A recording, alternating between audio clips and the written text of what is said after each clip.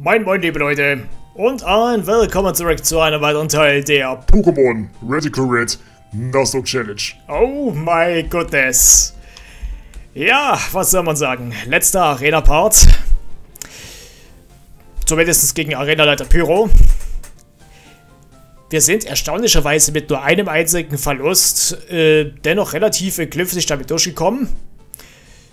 Und ich muss auch sagen, ich habe quasi mir mein Save-State mal mitgesetzt, bevor ich überhaupt den Arena-Kampf gemacht habe, sodass ich quasi unmittelbar danach ähm, optional nochmal diesen Kampf mit bestritten habe, ebenfalls mit Arnie als Lead, um mal mit zu sehen, was wäre eigentlich passiert, wenn wir quasi Protect zweimal hintereinander gegen sein Cinderace äh, gewirkt hätte, wie das damit ausgegangen wäre. Kannst du im Übrigen gerne mal rechts oben dir mal näher mit begutachten. Und äh, das wäre dann im Übrigen dort ein 6-0 Speed mit gewesen. Nichtsdestotrotz, wir sind quasi jetzt hier in Verdania City. Oh yeah. Und hier in Verdania City steht hier eine Arena. Die letzte Arena in diesem Spiel. Und äh, von den bisherigen Arenen, die wir bisher mit gesehen haben, alleine diesen Hack, kannst du dir gut vorstellen, diese Arena, die wird, äh, ja, etwas kritisch. gut, wie dem auch sei. Ähm, normalerweise ist es ja dann so, dass du dann ja dort gegen Giovanni antrittst. Der ja dann äh, mit seinen, was setzt er ein? Ich glaube, regulär Boden-Pokémon setzt er ja dann regulär mit ein. Aber von dem, was wir bisher in der Arena, oder eher gesagt in diesen Hack mit gesehen haben, kann ich mir gut vorstellen, da wird sich bestimmt wieder so einiges geändert haben. Wobei ich halt eben jetzt noch nicht ganz genau weiß, was. Wie dem auch sei, ich möchte euch erstmal hier zwei neue Teammitglieder mit vorstellen. Zum einen haben wir Romeo und zum anderen Rockdrop. Gehen wir mal auf Robio mal mit ein. Robio hat hier ein hartes Wesen. Ist natürlich äh, sehr Bombe. Insbesondere auch, äh, weil wir quasi Robio hier in Vertania City äh, was gesurft oder was geangelt. Egal. Haben wir quasi hiermit vorgefunden. Hat natürlich ja ein Choice Scarf als äh, Item. Und hat natürlich dann dementsprechend hier Max Attack und äh, Max Init. Die Werte, die sprechen durchaus schon für sich. Und ich denke mir, mit ähm, seinem Strong Jaw als Fähigkeit macht er natürlich mit äh, Kieferattacken schon deutlich mehr Schaden als äh, so für gewöhnlich. Mit einem äh, ja, Choice Band bin ich natürlich noch wahnsinnig viel schneller. Also mit Romeo dürfte man ja durchaus das mit reißen. Und äh, mit Attacken wie Aquachat, äh, Knirscher, Psychobeißer und ähm, Giftbiss macht das natürlich schon ich denke mal, viel Schaden auf den Gegner, je nachdem, mit äh, was man damit kommt. Da könnte ich an sich hier dann Robio reinschicken oder mit Robio Instant Leaden. Der macht dann durchaus vieles mit her. So, bei den anderen hat sich jetzt nicht so großartiges irgendwas mit verändert. Deswegen gehen wir gleich auf äh, Rockdrop mit über.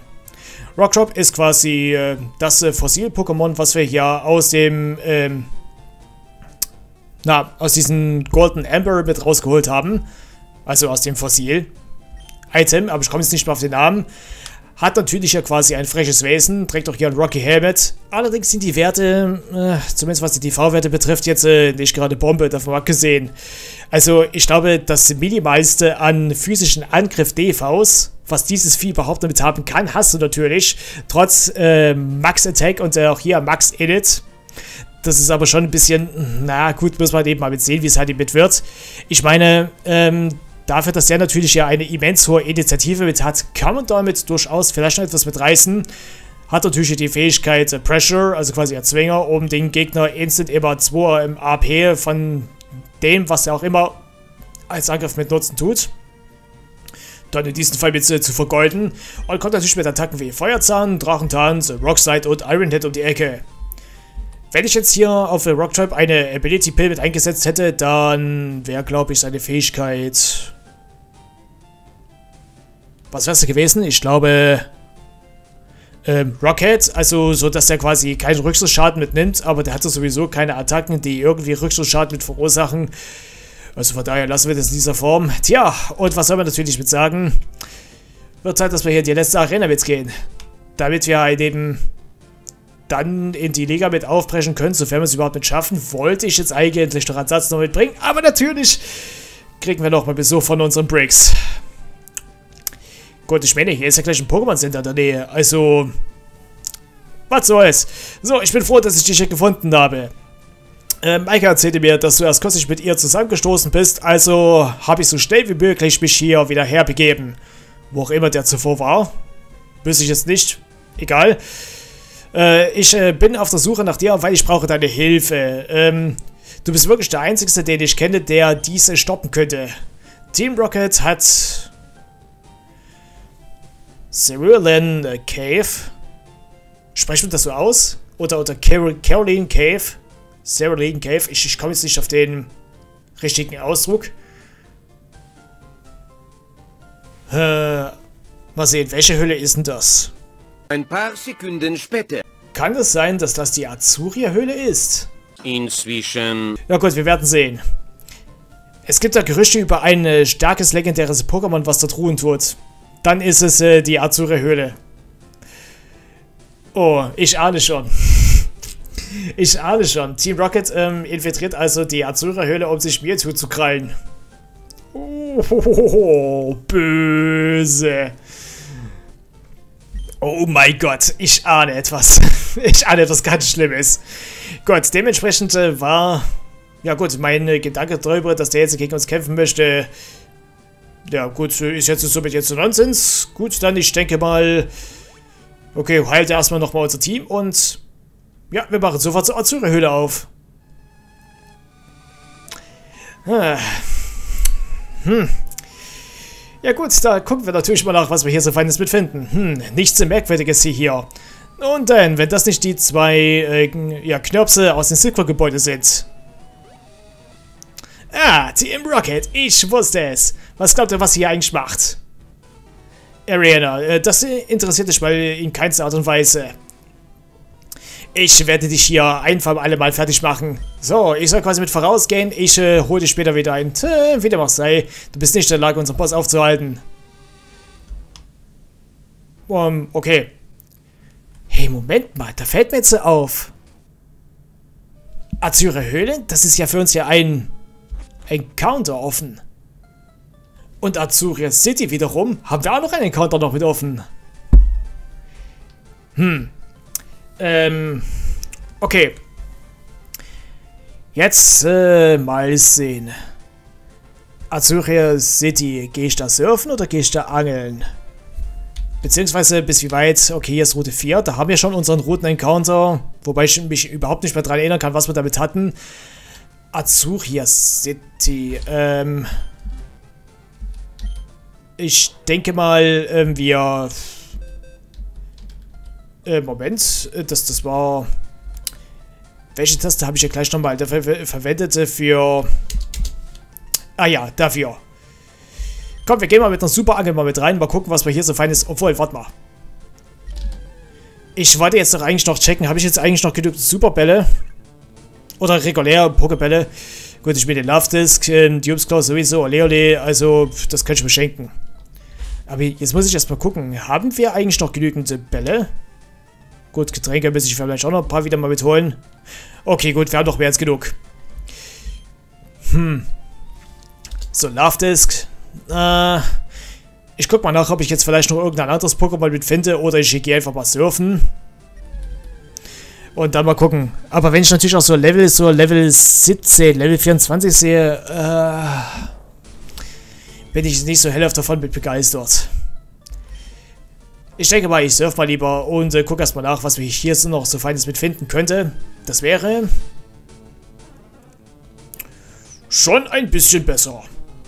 Ein männliches äh, Goldak. Also Edoron. Mit Wolke 7. Ja, gut, kannst du mitnehmen. Ähm... Gut. Der ist zwar deutlich höher gelevelt als äh, quasi so ein Love Disc, aber ich glaube, so ein Fake-Out ähm, wird er niemals tanken. Komm, wir schmerzen am besten gleich hier den Quick Ball und fangen am besten gleich das äh, Pokémon mit ein. Wollte ich zumindest sagen, aber ich glaube, der mag es wohl nicht so sehr. Super, Sin Headbutt. Yay! Klasse. Äh, Frage. Wie um alles in der Welt schwäche ich jetzt? Die Betonung liegt jetzt wirklich, wie schwäche ich jetzt ein Enteron, was mir fast auf einem halb hohen Level ist, wie bei der restlichen Pokémon. Von dem jetzigen Level her.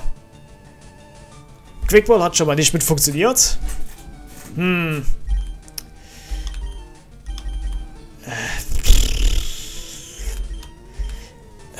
Was ist denn überhaupt meine schwächste Attacke, die ich überhaupt habe? Ich muss quasi jetzt eine schwächste Attacke aussuchen, die quasi äh, das äh, Pokémon vielleicht doch mit tanken kann. Irgendwie. Feuerzahn, gut, das wäre vielleicht eine ähm, Idee.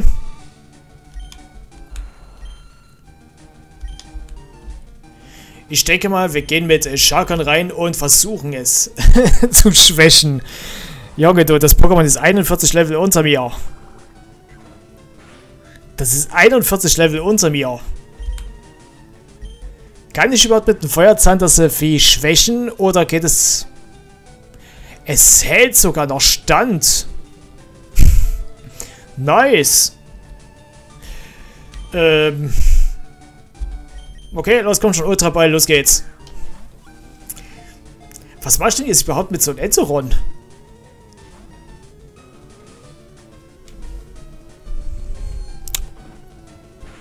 Und vor allen Dingen, warum bitteschön bleibt so ein Vieh äh, überhaupt nicht drin?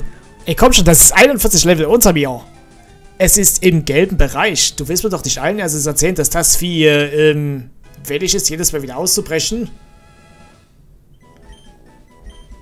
Ich glaube, Enteron schauen wir uns mal gleich mal mit an. Ich äh, werde mir halt eben jetzt noch für den noch einen passenden Namen noch mit aussuchen. Äh, mal sehen. Männlich. Ja, ich glaube, ich habe schon einen passenden Namen für dich.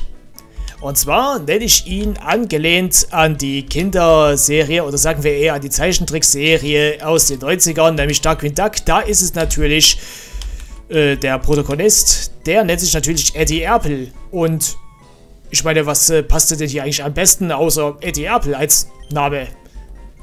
Wobei, wird er da nicht sogar mit Y geschrieben? Ah, nevermind. Und wenn wir schon mal hier sind, dann können wir auch gleich mal hier unseren Encounter noch mitholen. Hm. Wobei natürlich jetzt die Frage offen ist. Gehe ich jetzt hier einfach an Land und hole jetzt hier meinen Encounter? Oder gehe ich ins Wasser und hole mir dann dort meinen Encounter? Oder wenn ich dort eine Leiter sehe, dann könnte ich ja vielleicht auch eine Ebene nach oben gehen. Oder vielleicht nach unten, je nachdem. Und mir dann dort meinen Encounter-Bild holen. Habe ich denn überhaupt Schutz da? Habe ich überhaupt ähm, Schutz? Schutz, Schutz, Schutz? Habe ich überhaupt so etwas? Ich habe sogar noch einen Blattstein. Leute, ich glaube, den kann ich auch noch mit verkaufen, weil ich Max 6 äh, so sehr stark bezweifeln, dass ich den überhaupt noch irgendwo mit einsetzen kann. Nö, ich habe gar keinen Schutz bei mir. hm. Schade. Also wenn ich jetzt einen Schutz bei mir hätte, dann würde ich den jetzt hier einsetzen, um den dann entweder in der nächsten höheren oder nächst tieferen Ebene dann dort meinen Encounter mitzuholen. Sofern ich jetzt äh, nicht so ein Reinfall-Pokémon kriege, wie halt eben so ein Enteron. Also zumindest von dem Level her. Ich kenne natürlich jetzt noch nicht, ähm, was äh, das Enteron überhaupt für Stats und Wesen hat, etc. Ich würde am liebsten auch gerne mal wissen, wo dann hier eigentlich dieser Dynarage-Stein mit ist. Damit wir einfach mal gucken können, was wir denn dort mit finden, sofern ich überhaupt dort mit hinkomme. Aber ich glaube, ich werde wohl zuvor hier meinen Encounter mitholen. Ach komm, was soll's. Wir gehen einfach mal hier rein. Einfach mal gucken. Einfach mal gucken.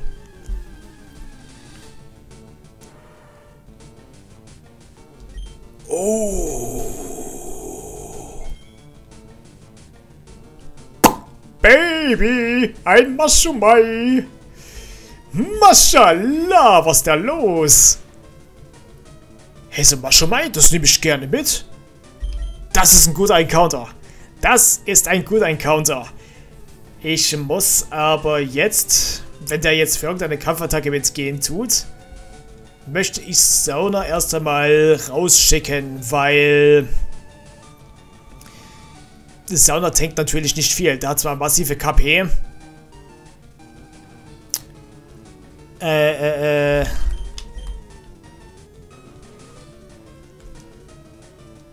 Obwohl, wir, wir gucken einfach mal. Wir gehen einfach mal für einen Rockslide. Ich outspeed sogar das äh, Maschomai. Okay. War sogar ein Critical Hit, als ob. Und der Flitch. Okay, komm, los, äh, Maschomai, los, das, das fangen wir. Es, äh, gut, stimmt, ich hätte auch instant einen Quickball noch mitspeisen können, fällt mir auf. Na, egal. Komm, los, Ultra Ball. Los, komm schon, das, das Video, das fange ich. Ich will wissen, was hier, ähm, dieses Maschomai dann über, über, ich kann nicht mehr sprechen, überhaupt für Werte hat. Ist sogar im Übrigen ein Weibchen. Ui, jetzt muss ich erst einmal wissen, welche weibliche Wrestler es überhaupt gibt. Und vor allen Dingen, was ist jetzt eigentlich so der ähm, Unterschied gegenüber dem Sprite eines männlichen Mashumais? Das wird quasi jetzt hier der äh, Name für dieses äh, weibliche äh, Mashumai. Blonde Haare, Muskeln oder beziehungsweise starke Brüste. Zwar keine vier Arme, sondern da nur zwei, aber egal. Das war quasi jetzt hier der äh, Name. Äh, wenn ich den natürlich auch noch richtig buchstabieren würde. Alright, Natalia. Gut, ich denke mal, ich ähm, scoute jetzt erst einmal, äh, was für äh, Stats äh, diese beiden Pokémon mit haben und dann gucken wir mal, wie es halt eben dann hier noch so mit weitergeht. Also mal sehen. Eddie Erpel hat zwar kein Item bei sich, hm, na gut, muss ja jetzt nicht unbedingt irgendwas heißen, hat sogar aber ein mäßiges Wesen. Hey, die Werte, die sind aber nicht verkehrt. Mäßiges Wesen für ein... Ja, in diesem Hack dachte ich mir schon, für ein Wasser-Psycho-Pokémon, sehr nice, sehr nice. Die Werte, okay, gut, die sind an sich schon, ich sag mal noch im okayen Bereich. Spezialangriff sogar in einem sehr guten Bereich. HP auch noch in einem relativ guten Bereich und die restlichen C, DV-Werte, ja, kann man schon gerne mitnehmen. Gut, mal sehen, Zen Kopfstoß, Sog, Psycho Plus äh, ähm, und Aquatail. Ja gut, sind aber mehr dann physische Attacken, beziehungsweise zwei Status-Moves. Ähm, ja gut, da müssen wir mal sehen, wie das halt eben so mitwerten könnte, ne? Und dann haben wir ja Natalia. Mit einem Relaxed Nature. Trägt zwar ebenfalls kein Item. Ähm, No Guard. Ganz ehrlich, ich glaube, ich hätte jetzt hier lieber einen gehabt mit Adrenalin. Weil ich habe einen Flame Orb und ich habe einen Toxic Orb. Und ich glaube, mit Adrenalin wäre ich hier weitaus besser dran gewesen. Also mal sehen, auf Kosten der Initiative hast du quasi einen erhöhten äh, Verteidigungsboost. Der Spezialdefensivwert, ja gut, ist dann sicher an der Kurzgrenze. Zumindest was die, die, die V-Werte mit betreffen tun. Aber knapp 200 Angriff. Mach schon etwas mit her. Gut, ich meine, dafür trifft halt eben dann Cross-Chop immer. Der Level Punch trifft dann so gesehen auch immer. Und, ähm, na gut, ist halt eben jetzt so ein, äh, doppelschneidiges Schwert, ne? Es sei denn, ich äh, nehme eine Ability Pill und rüste es halt eben dann mit, ähm, ja, mit einem Heißop damit aus. Um den dann Adrenalin zu triggern. Weiß ich noch nicht so ganz genau. Na schön, back to the rules, back to the, ähm, ja, LOLs. Gut. Gucken wir doch einfach mal nach, ähm, was wir hier vielleicht noch hätten noch mitfangen können. Jetzt sogar auch ein Gold hat noch mitfangen können, sogar dieses Mal auf Level 67. Ebenfalls Cloud9. Alter, was ist da los? Jedes Goldtag hat hier Cloud9? Hm, okay. Äh, äh, äh. Na gut, müssen wir natürlich mal mit sehen, ne? Ich glaube, ich werde hier Sauna erst einmal von der Spitze mit runternehmen, weil ich habe schon ein bisschen Angst, wenn natürlich so ein äh, Wasser-Psycho-Pokémon gegenüber einem Kampf-Pokémon hier mit am Start ist. Äh, bin ich jetzt ehrlich gesagt nicht so Hell davon mit, mit äh, begeistert, wie das hier mit abläuft. Ich glaube, wir schicken mal Romeo mal mit nach vorne. Hydropumpe, pf, juckt mich mal überhaupt nicht. Komm, wir gehen auf den Knirscher. Ich outspeede dank ähm, Choice Scarf. Äh, und äh, ab dafür. Na gut. Ich meine, ich hätte es an sich schon ein bisschen cooler empfunden, wenn ich ja gleich diesen Düner Rage Stein hier irgendwo mit vorgefunden hätte. Hm. Aber ich wüsste natürlich auch jetzt mal überhaupt nicht, wo der überhaupt ist. Und wo ich jetzt überhaupt so richtig mit lang müsste. Obwohl, da ist ein äh, Rocket Rübel. Ich denke mal, da bin ich schon richtig. Hm. Oh. Ein Simsala.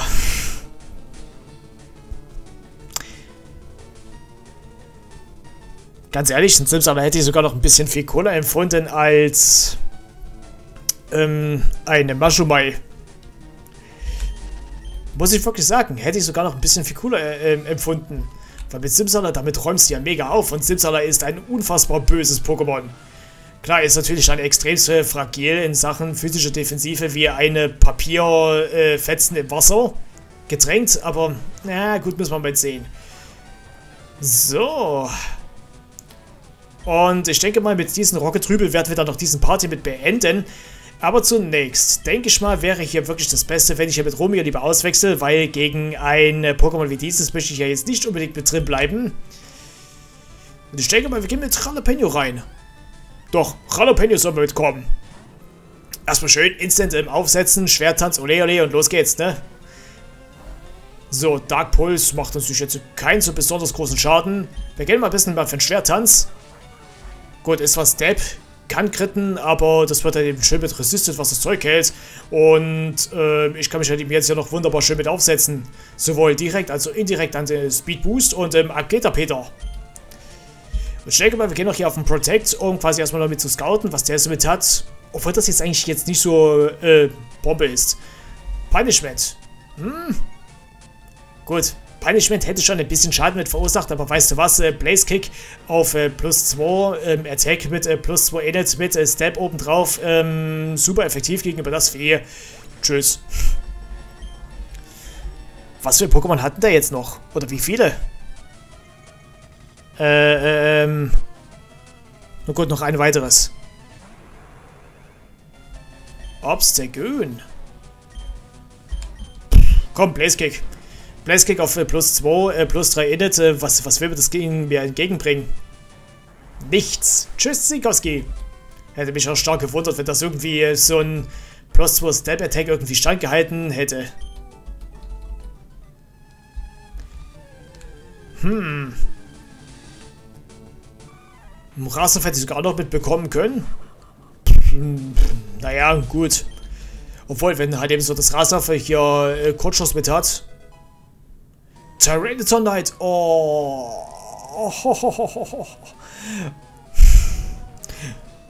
Jetzt, wenn ich noch mein Banki raus noch mit hätte, aka mein Tyranitar. Das wäre jetzt wirklich sehr nice. Das wäre wirklich sehr nice.